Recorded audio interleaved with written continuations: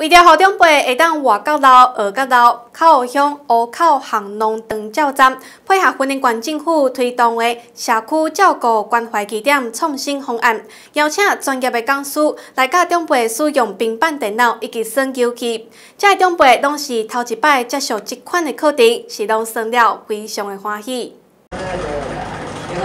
现在算平板电脑以及电子产品已经毋是只有少年人了。靠向乌口巷农长照站，配合云林县政府推动的社区照顾关怀据点创新方案，带长辈头一摆来使用平板电脑以及耍游戏。阮含照有翕相吼，啊有画图，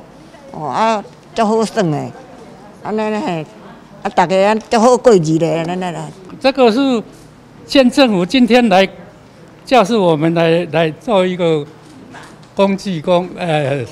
画图哎，很好。我们在这里也有画图，教老人做健康体操，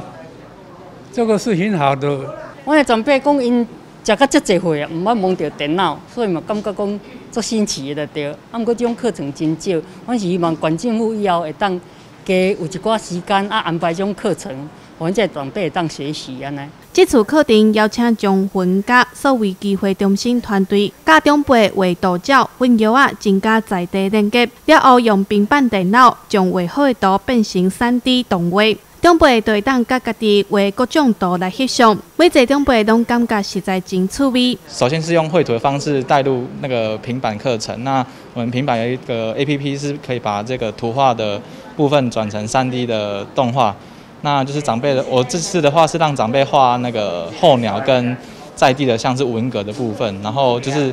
有一个在地的连结，训练反应的游戏，还有一些像是呃创作的一些像是着色的，还有像是。呃，观察力的，像图形的配对，可以训练他们的认知还有反应能力。这个课程已经举办第九场了，希望透过平板电脑，学长辈也当轻松快乐学习电子产品，嘛学长辈延缓老化，对着时代脚步。我们这边长辈大部分都是八十几岁以上的长辈，啊，他们长呃活到这把年纪，从来就没有摸过摸过平板电脑啊，所以他们刚接触这个电脑。诶，平板电脑他们觉得很新鲜，也很好奇，啊，也很好玩，啊，这这样的课程呢，不但可以提升他们的学习能力，一方面可以训练他们的手眼协调，还能提升他们的自信心，让他们觉得说活到老学到老，